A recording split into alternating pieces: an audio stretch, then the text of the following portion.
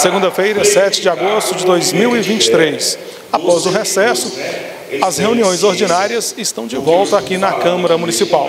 A Casa do Povo, revitalizada, reformada, de cara nova. Vou falar agora com o presidente dessa casa, o vereador Tiago Mendes. Gostaria que você falasse, após o recesso parlamentar, essa primeira reunião já com a, a casa reformada, revitalizada e as suas expectativas. A expectativa que nós da Câmara Municipal temos é de continuar o trabalho que foi desenvolvido de forma é, harmônica no primeiro semestre do ano de 2023.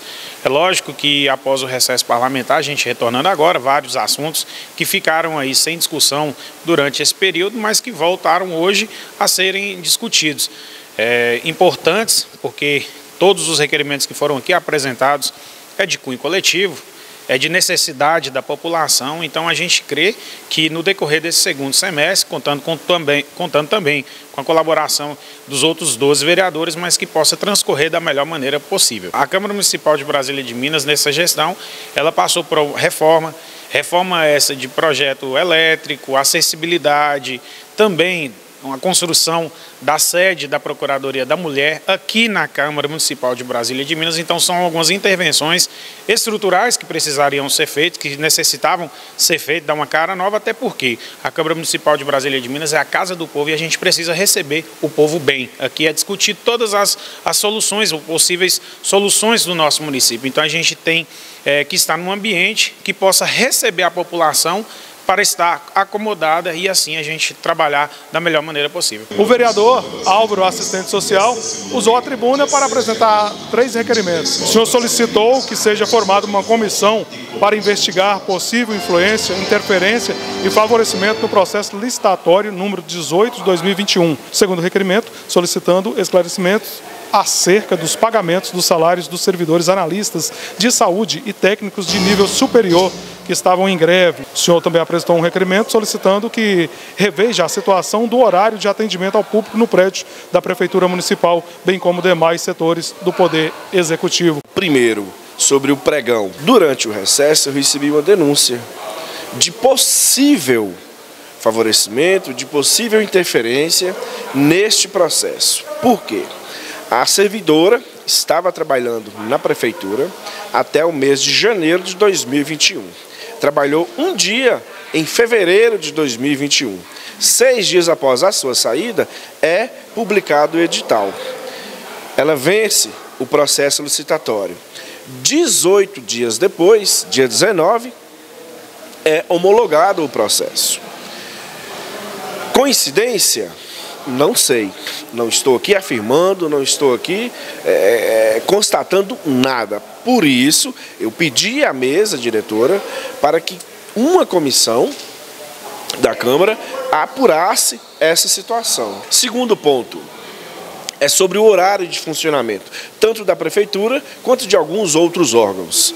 É, só de 7 às 13. O horário é excelente para os servidores, mas para a população é péssimo, é incoerente, é inconsistente, é ineficiente, não tem razoabilidade, não tem pessoalidade.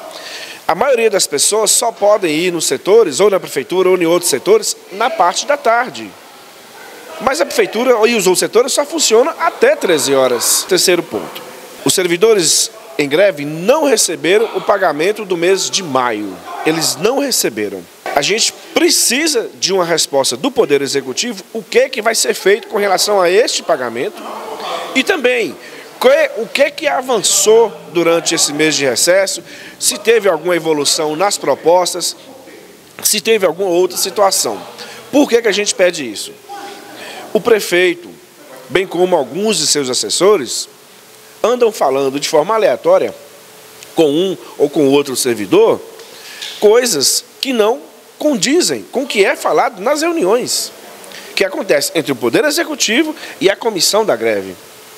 Então a gente pede uma resposta oficial do que, que realmente é para ser colocado no papel. O vereador Elias Raposo também usou a tribuna nesta noite, nesta segunda-feira, na primeira reunião após o recesso parlamentar, apresentando um requerimento solicitando é, a duplicação da ponte sobre o rio Paracatu, que liga a Coronel Sansão, a rua Coronel Sansão, ao bairro Nova Brasília. Esse requerimento bem discutido, inclusive também apresentado pelo vereador Eliseu Fernandes. Sabedores de que o trânsito em Brasília de Minas fluiu bastante, como também a necessidade dos pedestres em questão da acessibilidade e segurança. Então é uma reivindicação é, digna que a população merece e que vai trazer melhorias tanto no trânsito quanto também na locomoção, na locomoção da, da, população de Brasília e de Minas.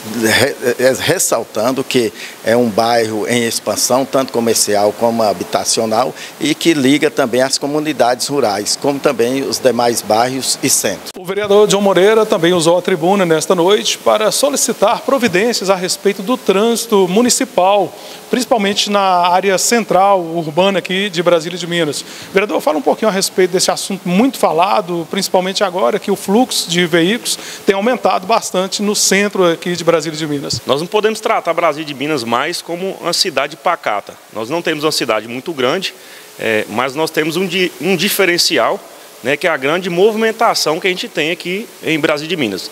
Principalmente com as empresas grandes né, que, que estão é, migrando aqui para a nossa cidade.